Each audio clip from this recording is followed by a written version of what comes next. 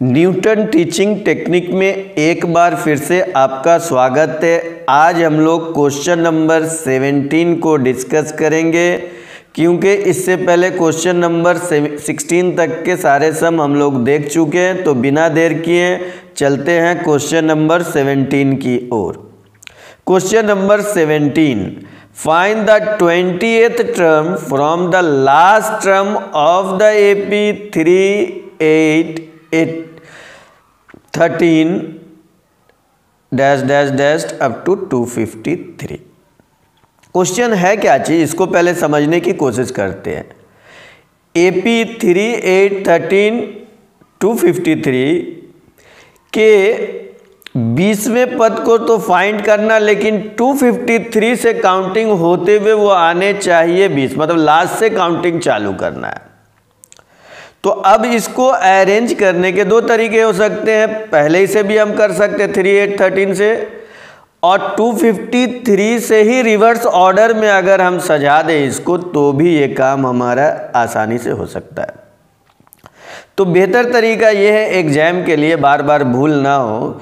हम लोग अगर इस तरह के सम अगर आए लास्ट टर्म से काउंटिंग के तो लास्ट से ही हम, चूँकि हमें उसमें कॉमन डिफरेंस पता रहना ज़रूरी है, और यहाँ हमें पता है। तो 253 ले लिए। उससे पहले कौन टर्म रहा होगा? 248 डाल दिए। फिर 243 उस तरह से हम काउंटिंग करते हुए इसका मतलब इसका लास्ट जो है वो थ्री है तो इस तरह से हम रिवर्स कर लेंगे।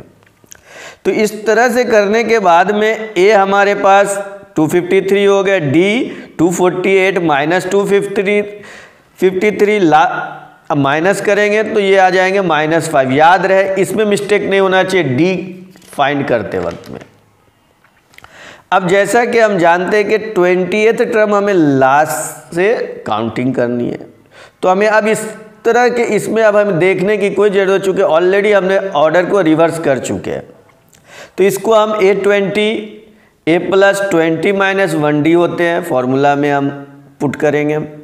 ए टू फिफ्टी थ्री है ट्वेंटी माइनस वन नाइनटीन में डी के जगह माइनस फाइव डाल देते फिर उसके बाद और बढ़ाते हैं तो two fifty three minus ninety और डिडक्ट करेंगे तो हमें घटाने के बाद वन फिफ्टी एट जाएँगे।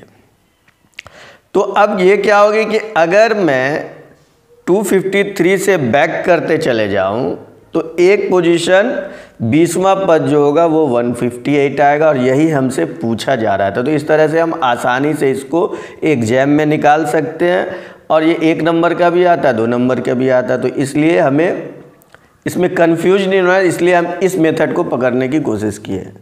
तो इस तरह हम लिख सकते थे twentieth term from the last term of the given A P is 158 दोस्तों, अगर ये चैनल और इस चैनल से जुड़ी जानकारी आपको अच्छी लगती हो तो इस चैनल को ज़रूर सब्सक्राइब करें और दोस्तों के दरमियान ज़रूर शेयर करें। धन्यवाद। जय हिंद।